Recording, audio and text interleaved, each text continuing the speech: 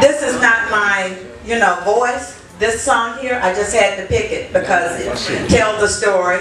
And actually, this is dedicated to Stacy and her love, Jason. Oh.